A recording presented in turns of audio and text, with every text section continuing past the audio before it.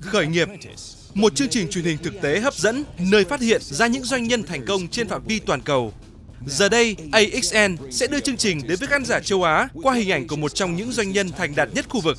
Hãng hàng không, đội đua công thức 1, chuỗi khách sạn và một câu lạc bộ bóng đá, Tony Fernandez đang quản lý một đế chế trị giá hàng tỷ đô la. Để thực hiện giấc mơ của mình, hãy đăng ký ngay trên trang web của AXN